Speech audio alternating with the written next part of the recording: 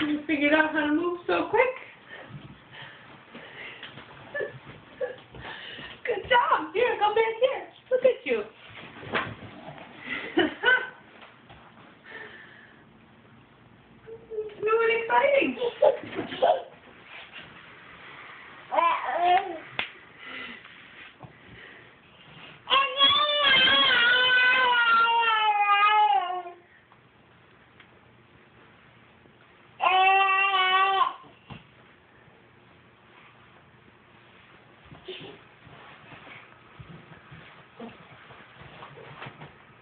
As far as you can go, you hit the wall.